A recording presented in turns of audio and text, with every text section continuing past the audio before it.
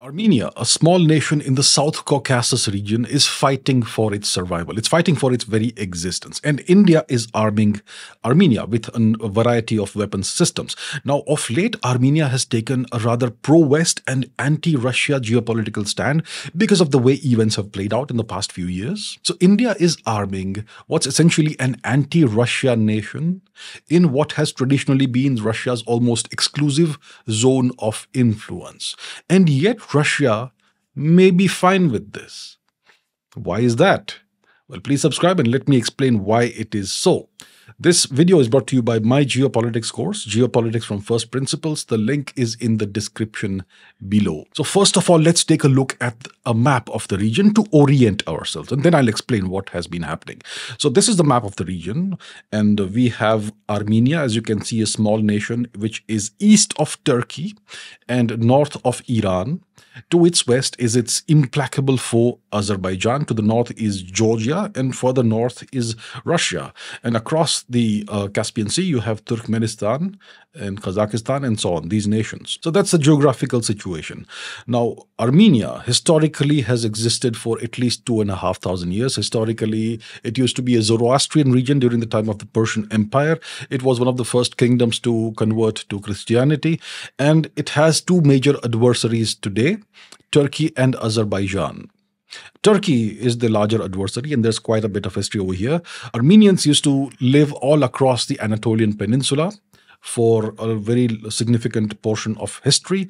And the Turks conducted a series of uh, multiple waves of genocide beginning in the late 19th century against the Armenians. And this all culminated in the first quarter of the 20th century when the major Armenian genocide happened around 1915. And when Turkey became independent in the early 1920s, all the remaining Armenians were essentially, you could say, eliminated or expelled, whatever you want to call it, from Turkey. That's the history between these two nations. Now, Armenia and Azerbaijan were both part of the USSR. During the time of the USSR, the region of Nagorno-Karabakh or Artsakh was administratively kept as part of the Azerbaijan Soviet Socialist Republic instead of the Armenian Soviet Socialist Republic for administrative reasons.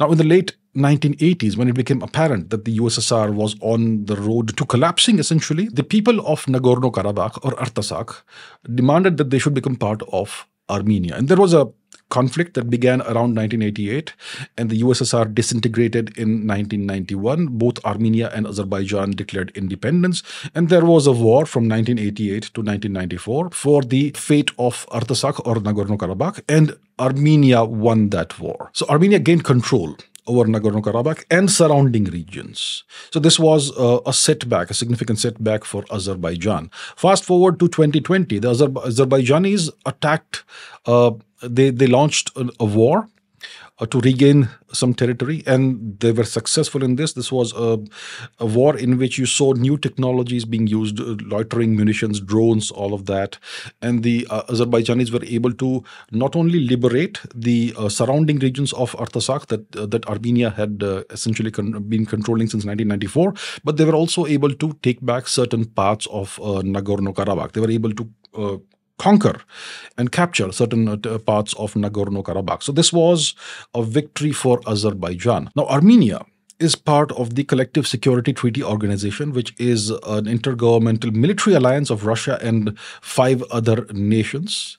So one of the uh, fundamental foundational principles of this CSTO is that an attack on any nation is an attack on all other nations. And if one of the nations which is a member of CSTO is attacked then the other nations need to come to its aid. But that doesn't apply to an extraterritorial matter like Nagorno-Karabakh because Nagorno-Karabakh or Artsakh was not officially part of Armenia. So this war happened and the Azerbaijanis were able to retake parts of Nagorno Karabakh. But there were attacks on Armenia as well, missile attacks on Yerevan, etc., the capital city. And Russia did not come to the aid of Armenia when this happened. This is a fact, 2020.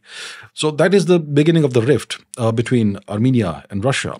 And Armenia had been taken, taking, the Russians say that it began before that in uh, 2018 or so, when the current uh, uh, leader of Armenia came to power. They say it was a Western backed government and so on. So there's been a rift growing between Russia and Armenia. So 2020, the second Nagorno Karabakh war, our, uh, Azerbaijan wins. Then 2023, there was a brief conflict again between Azerbaijan and Armenia, once again started by Azerbaijan, in which Azerbaijan regained the rest of Nagorno Karabakh, and uh, it was kind of a humiliation for Azer- for Armenia. And at the end of the second Nagorno Karabakh war in 2020, there was the placing of Russian peacekeepers in this region. So Russia expanded its military sphere of influence. So that's what's happened thus far. Russia has not come to the aid of Armenia, and Armenia has, uh, of late, taken uh, a more pro Western stance. They're saying that since Russia isn't able to defend us and, and help us out, we will turn to the West. That's kind of the situation. Okay. Now, India has been arming Armenia for the past few years. Swathi radars, Pinaka rocket systems, artillery guns. So India has been arming Armenia, which is an anti-Russia nation. And these arms shipments apparently from India to Armenia are being routed through Iran, which is interesting because south of Armenia and Azerbaijan, you have Iran, a major nation. So Iran is facilitating India's arms shipments to Armenia. And Iran and Russia are kind of on the same team, essentially, you could say. Iran, Russia, and China, there's a kind of a trilateral quasi alliance brewing, anti Western alliance brewing. So you can see that from the actions of these nations, the Russians haven't said anything negative about India's arms uh, shipments to Armenia, and the Iranians are actually facilitating this. So now, now let's understand why this is the case. So you may recall that Azerbaijan is a pro-Turkey nation. They would, the Turks and the Azerbaijanis would like to establish a pan-Turan corridor, which essentially wipes out Armenia and connects Turkey via Azerbaijan all the way to Turkmenistan, which establishes a, a, a corridor of the Turkic nations. So Armenia is the only entity standing in the way, and they would like Armenia to disappear from the world's map right? Now azerbaijan and turkey they both support pakistan's stand on kashmir. And azerbaijan is interested in buying uh, the jf-17 fighter plane that is jointly produced by pakistan and china. It's essentially a chinese uh, warplane but the pakistanis are also involved in some way. So the azerbaijanis want uh, are interested in buying that warplane a few num few numbers, maybe eight or sixteen or whatever it is. And the Azerbaijanis are also cooperating with Turkey, and they also want to buy uh, the future fifth generation Turkish fighter plane. So there is a significant amount of synergy between Azerbaijan and Turkey. And Turkey is a NATO nation. And Turkey is a rival to Russia historically, even during the Russian Empire time, during the time of the Ottoman Empire, Turkey and Russia were rivals. So Turkey is a member of NATO. It has its own geopolitical agenda that is nothing to do with NATO, but it's a member of NATO. So Russia would not like this pan-Turan corridor to happen, which would expand NATO influence all the way to Turkmenistan. And Armenia, even though it's kind of anti-Russia right now, it is a good asset to have in the place. And the Russians don't want Armenia to disappear, and they don't want Armenia to become too pro-West either. They don't want it to become a NATO proxy in the region.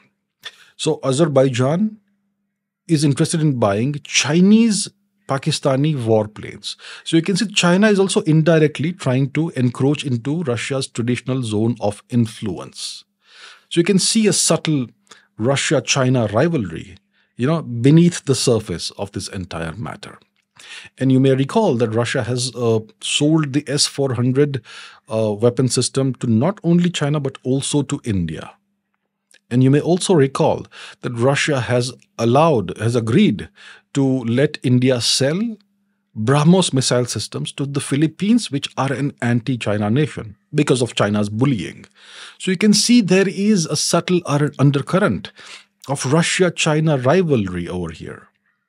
There is Russia China rivalry, despite what all the geopolitical experts will tell you about the uh, alliance, so supposed alliance or modus vivendi between Russia and China. That is not quite the case. The two nations are natural adversaries and they will be adversaries in the long run. So Russia does not want Armenia to disappear from the map. It does not want Armenia to start buying NATO weapons and become essentially a NATO proxy. So Armenia is buying weapons from India and also from France, which is a NATO member, but France is has a quasi-independent foreign policy, and France chafes under the chains of NATO. So France has an agenda of its own. It, of course, is a NATO member. So Russia would like Armenia to keep receiving weapons and arms and systems from India, which will ensure that it doesn't take too much of a pro-Western uh, Western stand. If it starts acquiring weapons, American weapons, that's going to be a disaster for Russia won't be a disaster, but it's not something that Russia would want in its zone of influence, in the Caucasus region, which has traditionally come under Russia's zone of influence. And more importantly, Armenia doesn't threaten Russia militarily. Armenia wants to stay alive. Armenia, Armenia wants to stay, keep on existing. Its major threats are Turkey and Azerbaijan. Azerbaijan is a Turkish proxy. So these weapons that India is selling to Armenia, they do not threaten Russia. So that is the deal. And that is the reason why it is perfectly fine with India selling arms to Armenia. Now, why is Iran facilitating Indian arms shipments into Armenia? Well, there's a whole other dimension over here. It's interesting, rather interesting, that Israel supports Azerbaijan in this war against, in this conflict against Armenia. And Azerbaijan, if it is a pro Israel, pro Western nation, right north of Iran with a common, significant common border. And then it's a problem for Iran. And there's a significant Azeri population in, in, in Western Iran as well, which is again a concern for, for Iran. So Iran is Persia, but only 50% roughly of the population of Iran is Persian. There are other ethnic groups like the Azer Azeris, Azerbaijanis, the Arabs and Balochis and so many more. So there's a concern there that Azerbaijan could be spying on Iran and facilitating anti Iran activities, which would be NATO activities. So, once again, for Iran also, it is important that Armenia continues to exist and Armenia is strengthened. That's why Iran and India seem to be working together in transshipping weapons and arms to Armenia. So, Iran has this strategic deal with China in which China will invest tremendous amounts of money into Iran and the Iranians will supply China with energy. And the Chinese are selling essentially their fighter planes to Azerbaijan, which is kind of an anti Iran move. So there's this complex layers there are complex layers of geopolitics over here. There are overlapping interests. There are friends that ap- appear to be friends but actually are competitors and adversaries. Nations that seem to be allies are competing against each other and trying to un- undermine the other. It's pretty complex. This region is typically very complex. The balkans are even more complex. But overall this is the situation. Russia doesn't want armenia to become too strongly pro west Russia doesn't want Armenia to have NATO weapon systems on its territory, and Russia wants Armenia to stay alive. It's, it wants Armenia to keep existing. It doesn't want an expansion of NATO influence or Turkish influence in the region. Russia also doesn't want the expansion of Chinese influence in the region. And that's why Russia and India and Iran are collaborating on this matter to help Armenia, despite Armenia's anti Russia stance. So that is the deal. Pretty complex, but I hope this makes sense after the explanation. Thank you for watching, and I will see you soon in the next video.